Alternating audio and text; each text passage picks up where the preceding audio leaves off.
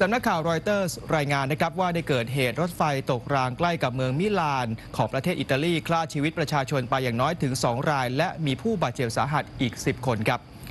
โฆษกของบริษัทรถไฟผู้ให้บริการเฟอร์โรวีเดโลสเตโตยืนยันรายงานของสำนักข่าวรอยเตอร์สนะครับว่ามีอุบัติเหตุเกิดขึ้นจริงที่เมืองพิโอเทโล